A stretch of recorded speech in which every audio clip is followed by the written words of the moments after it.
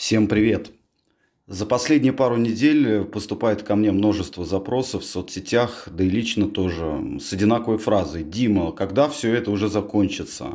Ну, подразумевая, естественно, сегодняшнюю ситуацию с этим коронавирусом и как следствие так называемый карантин или самоизоляцию, как хотите называйте.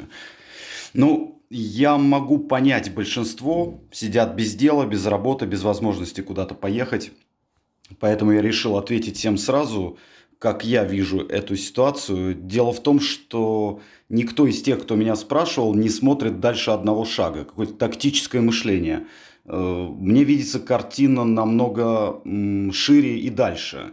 Я никак не собирался освещать данную тему до декабря 2020 года, попозже объясню почему. А, так как с декабря 2020 именно будут заметны уже какие-то сдвиги, изменения более картинно, так сказать. Но в своих эфирах Инстаграм, например, я немного раскрывал эту тему э, и теперь решил поделиться ею с другой аудиторией. А, меня никто не спросил, а что будет дальше? Ведь нефть ушла на уровень 99 года, и никто не спрашивает о, например, девальвации рубля и других слабых валют. У большинства вопрос один. Когда я выйду на работу, пойду в ресторан, ну, что ж, справедливо. Но стоит учитывать, что все эти перехлесты с нефтью, например, начались в начале марта, а вирус уже бушевал несколько месяцев и лишь затронув весь основной мир – также стал развиваться активно с марта месяца. Так вот, я считаю, что сам этот вирус, эпидемия, не более чем триггер, сопутствующее обстоятельство, побудившее заметить все остальное. Э, вирус, э, каким бы опасным, разноплановым не был, все-таки будет побежден, так или иначе. Но какой урон будет нанесен экономике всего мира – Здесь не хотелось бы обсуждать какие-то конспирологические версии по поводу самого коронавируса. Тут речь совсем о другом. Как я и говорил еще несколько лет назад в некоторых э, интервью и даже в своих видеороликах, 2020 э, год перевернет жизнь каждого из нас, а также целые народы и страны будут Э, так сказать, под этим действием изменений, если так можно сказать. А под видео я дам ссылку на одно из своих интервью от 2019 года, почитайте потом. А вообще удивляет восприятие некоторых и сопутствующие возгласы. Как это вы, астрологи, нумерологи, всего этого не могли предвидеть? Ну, это, конечно, безумно инфантильные претензии, ведь астрологи и нумерологи – это не пророки и не предсказатели. Это эти специалисты должны видеть и доносить до людей в прогнозе само качество года или нескольких лет. То есть видеть картинками – это, пожалуйста, к предсказателям, но точно не к астрологам, например. Вот, к примеру, в своем восточном гороскопе на 2020 год крысы я действительно намекал, пока сам в марте не, не прочитал и не послушал, и, грубо говоря, не обалдел от своих же собственных метафор и намеков – ну, давайте представим, допустим, был бы не вирус, а что-то другое. Не знаю, астероид с диаметром 20 километров, который дезориентировал бы полмира, или, например, какой-то тайфун, который разрушил бы там также половину мира, или, например, вода, вышедшая из берегов, заливающая одну шестую часть суши. То есть триггером могло быть все что угодно.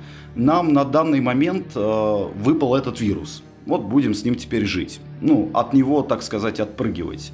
А, на работу вы обязательно выйдете, не переживайте. Правда, не все и не в один момент. Э, в каждой стране свой график выхода из карантина, но сам факт и сам тектонический сдвиг эм, уже пошел, он неизбежен.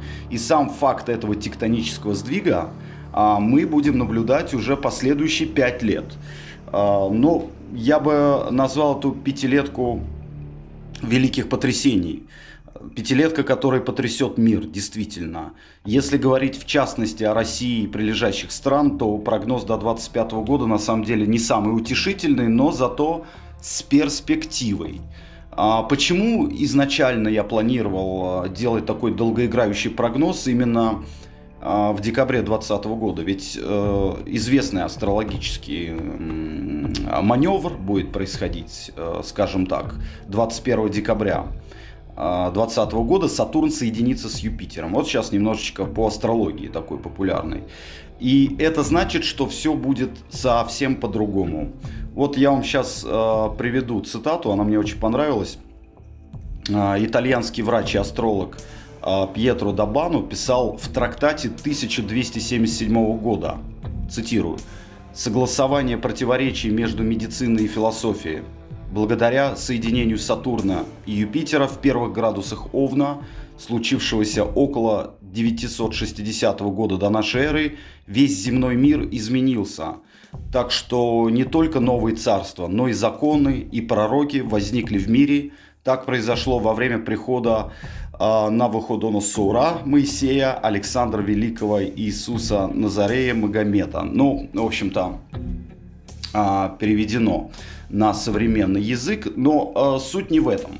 А дело в том, что вот такие вот соединения, соединения Сатурна с Юпитером, они это достаточно нечастое явление. Их разделяют на несколько, точнее на три цикла. Так называемый малый цикл продолжительностью порядка 20 лет, плюс-минус копейки – а, в, это, в этот период меняются знаки, в которых происходит соединение. Вот, кстати, а у нас как раз э, на данный эпизод жизни будет меняться именно 20-летний цикл, так как а, когда, когда предыдущий раз э, эти две планеты соединялись, это было 28 мая 2000 года. Ну, э, мы можем считать триггером некие политические ситуации, политическую повестку того времени, и именно в этот день наступила, так сказать, эпоха Владимира Путина да, в России. То есть э, тот момент, когда а, прошла инаугурация Путина впервые как раз. И вот это все а, произошло в начале соединения этих планет. И в декабре этого года мы будем а, наблюдать завершение 20 с лишним лет э, этого цикла. Он называется в астрологии малый цикл. А есть еще средний цикл, который меняется примерно каждые 240 лет. А, здесь э, перезапускается сама стихия уже. Ну, то есть э, тут я уж не буду углубляться в астрологию. Есть так называемый великий цикл. Его смена происходит примерно каждые 960 лет. А, когда исчезают цивилизации, рождаются новые, разрушаются старые. То есть э, это, это очень глобальные вещи, и нам пока это не грозит. Мы попали в более динамичное временное пространство, так называемый малый цикл а, соединения Сатурна и с, Юпитер, э, с Юпитером. А вообще, как я вижу эту ситуацию? Ну, те, кто со мной общается долго, знают, что особенно я начал об этом говорить уже так аккуратненько, примерно с 2012 года, а так как э, я очень пристально слежу за политической повесткой, причем не только внутренней, но и внешней, то есть э, геополитикой, Э, геополитику наблюдаю и анализирую, насколько это мне дано, скажем так, да, то есть э, политик и экономист из меня так себе, но зато зная некоторые э, циклические эпизоды и свойства, которыми они обладают, можно проецировать именно на политику, на жизнь этносов и целых э, стран, здесь 19 э, год прошлый, он оказался самым спокойным, а, я имею в виду по сравнению со следующими пятью годами. Да, 19 год, завершающий год спокойствия, а, так называемой стагнации, или как тут в России любят говорить, стабильности. И связано это с тем, что когда в декабре Сатурн соединится с Юпитером, он не пощадит никого, кто являлся, скажем так, человеком из прошлого. Вот сейчас э, очень модно ностальгировать по Советскому Союзу, и, и пломбир какой вкусный, и травка зеленая была, и люди были открыты, и двери не закрывали в квартиры и так далее. Это, конечно, великолепно, друзья, но этому не суждено повториться в том смысле, а, в котором а, вы это понимаете, да. То есть а, я как раз уверен, что Союз 2.0, так называемый, будет э, сооружен, если так можно сказать, сконструирован ближе к концу 20-х годов этого столетия. Но это совсем другой союз. Да, я также уверен, и многие меня могут смело закидывать тухлыми помидорами, что часть тех стран, которые ну, скажем так, сопредельные республики и страны, которые бывшие СНГ, СНГ снова воссоединятся с Россией. И здесь эм, Конечно, не стоит думать о том, что я являюсь жертвой какой-то боевой пропаганды с одной либо с другой стороны. Это вообще бесполезный номер. А, мне есть чем думать на самом деле, и на разного рода имперские амбиции меня, конечно, не распирает. Но то, что видится с точки зрения нумерологических циклов, ведической нумерологии и каббалистической, именно таким образом по историческим, опять-таки, циклам все и будет происходить. Извините, пожалуйста, меня, мои дорогие подписчики из Украины. А, мне часто задавали вопрос по поводу Украины. Я не хотел лезть в чужую страну. Но постоянно мне задают этот вопрос. Но теперь мы на пороге тех самых изменений, которые вы точно увидите. Я таки уверен, что Украина разделится примерно на три части, и одна из них будет так или иначе иметь соприкосновение с Россией. Ну, если уж не прямое, то как общее экономическое пространство, скажем так а также часть или большая часть Казахстана, Беларусь и некоторые другие республики стран СНГ и даже Советского Союза. Это все начнет происходить после 25 года. Что будет происходить все-таки до 25 года? Вот эта пятилетка нам, для нас точнее, сейчас более актуальна и интересна, так как это пятилетка разрушения всего старого, а следующая пятилетка с 25 там, до 30 это становление. Становление всего нового. Как это будет в картинках, пока не ясно. А понятно лишь вот мне на данный момент, что впоследствии и сверим, сверим часы, так сказать, да, посмотрим, как э, это будет меняться именно в географическом плане. С чем это связано? Дело в том, что делая гороскопы правителей, а, особенно вот э, России и сопредельных, да, вот те, кто мне интересны, я так понимаю, что их не пощадит эта пятилетка.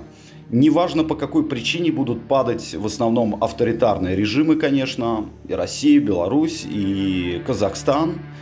А по какой причине? По разным причинам. У кого-то здоровье, кого-то снесут просто Неважно, каким образом это будет происходить. Дело в том, что эти люди, авторитарные лидеры, люди старой, старой формации.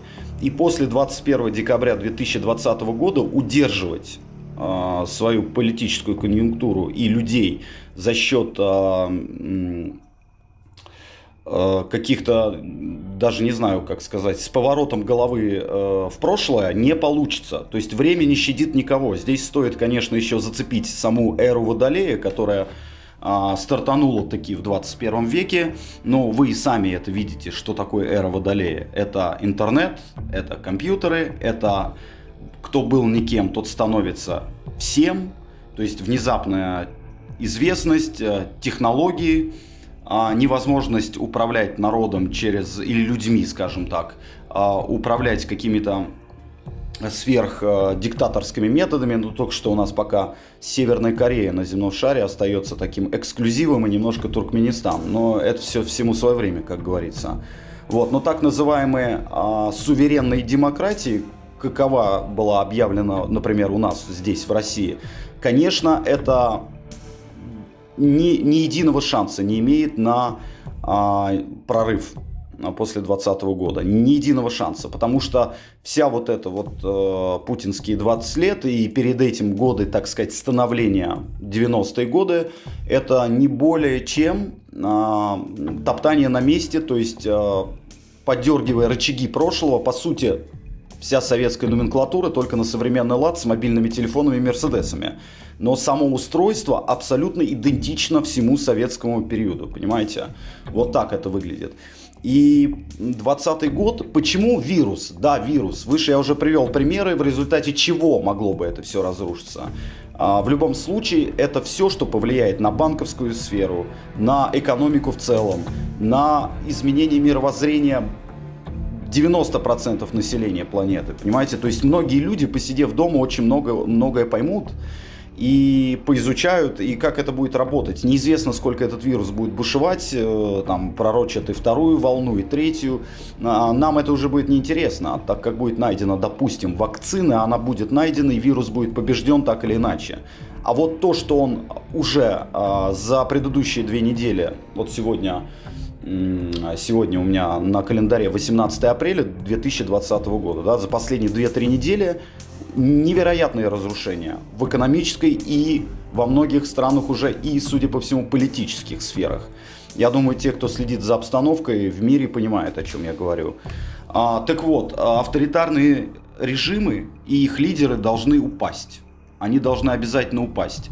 Заметьте, я не беру здесь э, Украину, потому что Украина здесь тоже является своего рода триггером для всех остальных авторитарных режимов, так как э, человек по имени Зеленский, я уверен, что он недолго продержится, если вообще свой срок досидит, но он является человеком новой формации.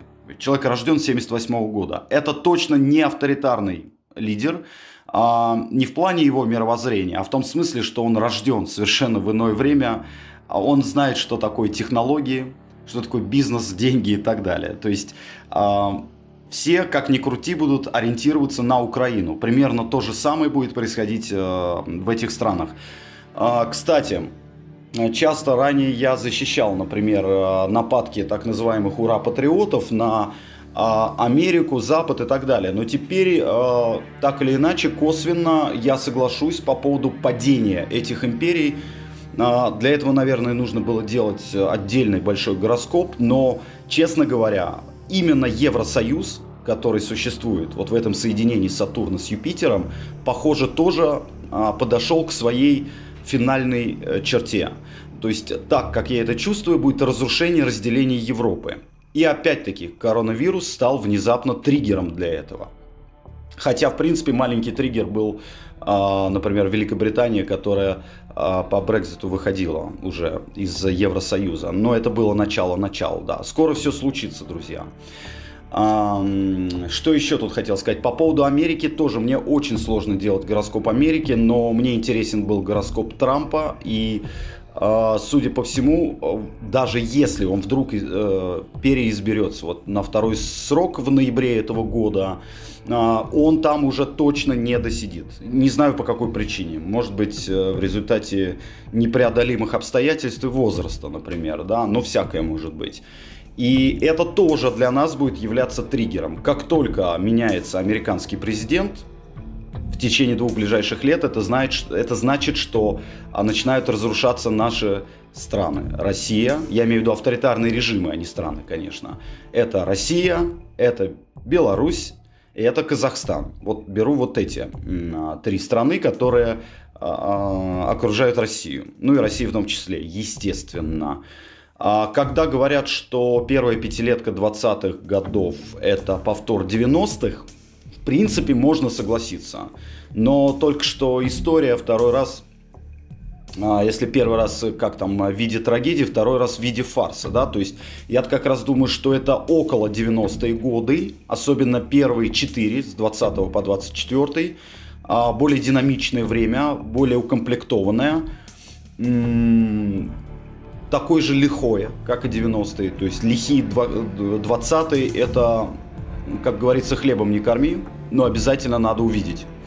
Не зря в своем восточном гороскопе э, я сказал такую фразу «будем запасаться попкорном», э, чтобы наблюдать. Давайте, друзья, наблюдать за этим всем. Я сейчас все равно еще говорю очень аккуратно и завуалированно, а, по той причине, что все-таки в нашей стране э, статья уголовная 282 еще держится, да, поэтому я понимаю, о чем я говорю, и рисковать не буду. Поэтому я и собирался после декабря 2020 года сделать большую выкладку по прогнозу России, например. Ну что ж, раз триггер сработал раньше, немножко приоткрываю завесу, потому что об этих всех событиях, разрушающих абсолютно старые системы координат, я в курсе уже лет 8 как, да, то есть я просто не понимал, каким образом зацепиться за эти параметры. Но я надеюсь, я очень надеюсь, что каждому из нас будет по-своему хорошо. А, кто был никем, тот станет всем. И наоборот, а, времена не совсем справедливые грядут, но нам их необходимо пройти мы ничего не можем сделать, понимаете, от слова совсем, ничего. Никакие митинги предыдущих 5-10 лет, бунты, ничто бы не спасло и не подвинуло бы время, так как все зашито во временных эпизодах. Пока мы не придем к определенному временному циклическому обороту, мы не увидим эти перемены. Так что это не значит, что нужно сидеть на месте и ничего не делать. Нет. Но, тем не менее, э, как в том анекдоте, ну, чё ж вы так убиваетесь, вы же так не убьетесь, да? Вот э, именно по той причине переусердствовать тоже не стоит. Давайте будем просто наблюдать. Мне безумно интересно наблюдать и жить в эпоху перемен. Эти перемены мы будем помнить последующие очень много лет. Кто сколько протянет, тот и это время и будет об этом помнить. То есть 90-е были лихими, но скучными, а 20-е будут крайне веселыми, во всех смыслах этого слова. Но меня по-прежнему зовут Дмитрий Шимко, обращайтесь за личной консультацией по дате рождения. Всем пока, пишите комментарии, ставьте лайки, пока.